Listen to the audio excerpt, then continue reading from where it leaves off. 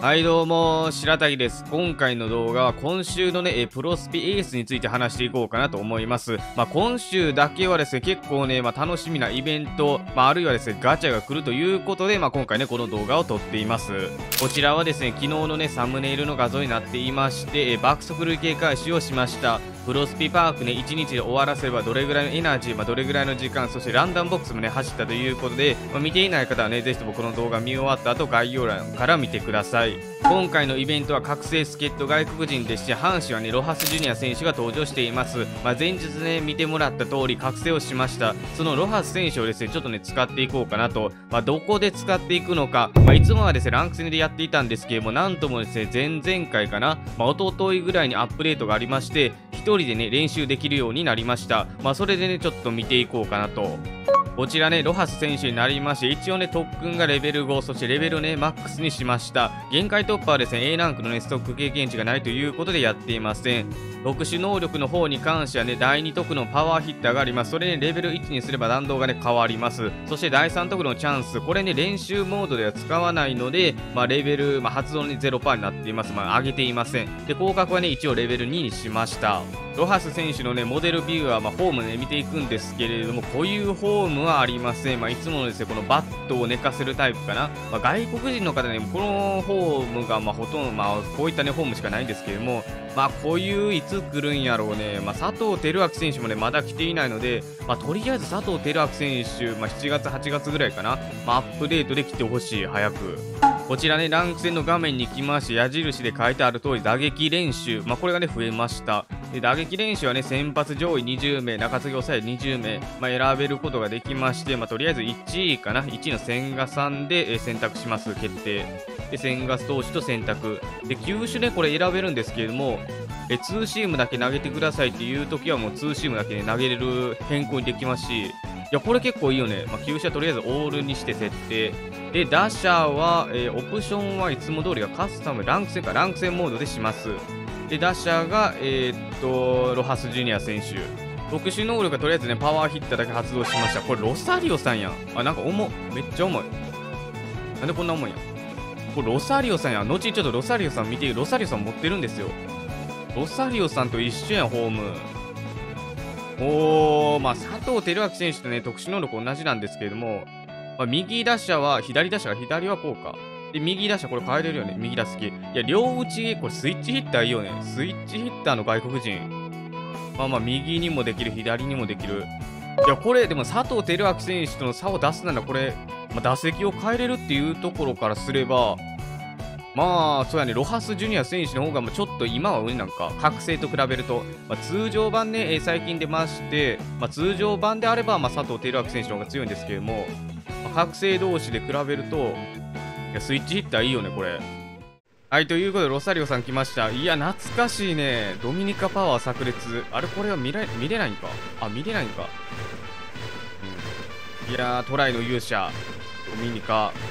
ドミニカの選手結構、阪神取ってるよね。いいね、ロサリオさん。久しぶりやね。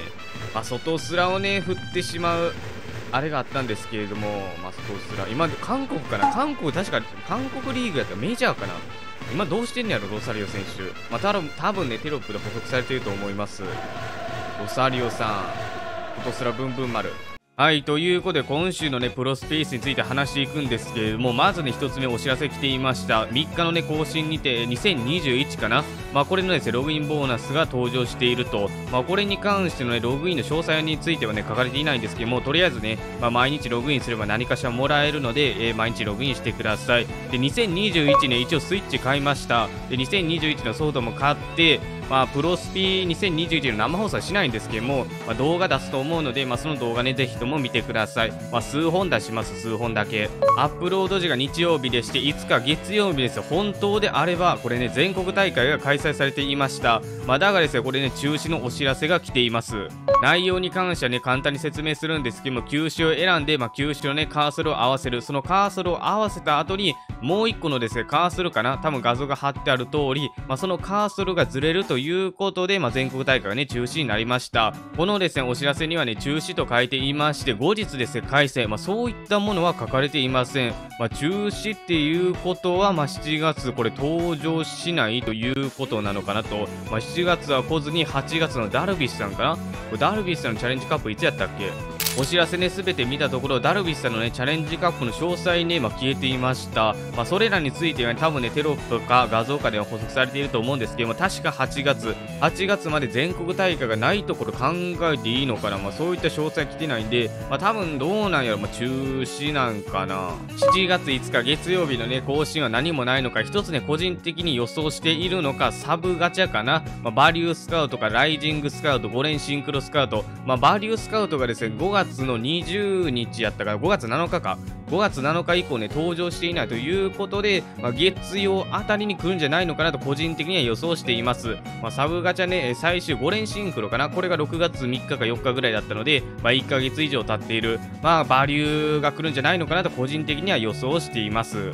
もし仮に月曜日バリュースカウトがね登場したのであれば、まあ、まだね動画すると思うのでぜひともその動画も見てください。日をまたぎまして6日の火曜日ここで、ね、何かしらの更新があるのか、まあ、この6日はですね、まあ、何もない特に何もない日々でして、まあ、イベントをですね自然回復かな、まあ、それでしっかりやってください。6日ね多分何もないと思います。その次の日はですね7月の7日になります。7月7日はですね七夕の日。七夕の日ということですね去年と、えー、去年1年前と2年前かな、えー、七夕福袋ガチャというものが登場していました。このガチャが2021年7月の7日に更新が来るのか。これに関してはですね今現在のね開催されているガチャかな。2日の更新にてライト枠と TS のね狙い撃ちが登場しました。これのですね終了日え終了日に多分書かれていると思うんですけれども矢印で書いてある通り7月の8日木曜14時59分に終了します、まあ、8日にですね終了しましてえ去年2020年2020年はですね7月の7日にえ更新がねガチャ更新だけがありました。まあ、そういったですね更新がねあったということで七夕福袋を2020年7月7日に出したんじゃないのかなと。まあ今年はですね8日ということで1日ずれて8日に福袋ガチャをですねまあ、登場させてくるんじゃないのかなとこのですね7月8日イベントとねガチャ更新があるんですけれどもイベントはですねいつもね前日にアスイベ予想をやっているのでまあ、その動画を見てください。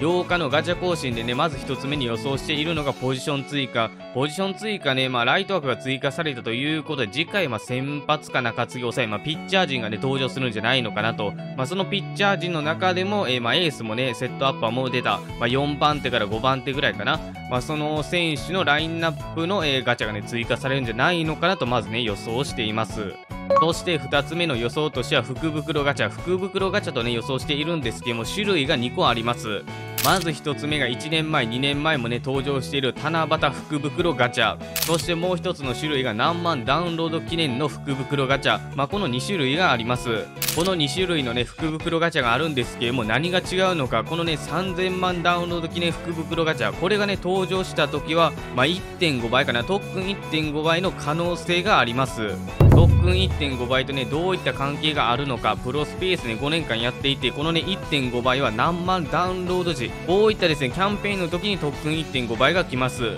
2020年のね特訓1.5倍のテロップ書いてある通り何万ダウンロード時に、まあ、登場することが多くてそして2021年2021年はですね1月4日ね特訓1.5倍が来たんですけれどもこの時はね何万ダウンロード時とともには登場していません。まあこれに関してはですね本当に特例になります。まあ日程のね調整をするために、まあ、1月4日に登場させたんじゃないのかなと。次のね第2回目がね2500万ダウンロード時に特訓1.5倍が来ています、まあ、1.5倍と何万ダウンロード。まあ、これはですね、まあ、関係があるとね、考えて、まあ、3000万ダウンロードの場合は、まあ、特訓1.5倍が登場。まあ、七夕福袋ガチャかな。まあ、それがね、登場した場合は、まあ、特訓1.5倍、まあ、来ないんじゃないのかなと、まあ、予想はしています。一応ね、データ上からの、まあ、計算になります。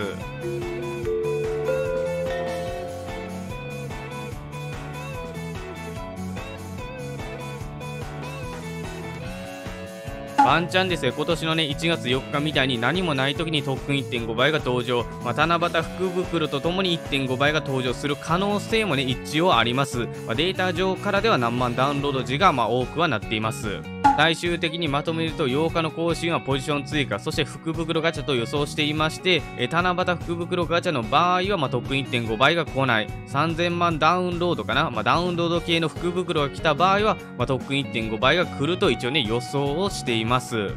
はい、ということで今回の動画は今週のね、プロスペースについて話しました。再来週はですね、セレクション第1弾が登場。まあ、開幕即100連引くので、ぜひともね、その動画も見てください。高評価、チャンネル登録、通知音、ベルマークボタン、コメントしてもらいまして、まあ、明日もですね、動画ね、出せれば出せると思い、出せれば出すと思います。ということで、今回は以上。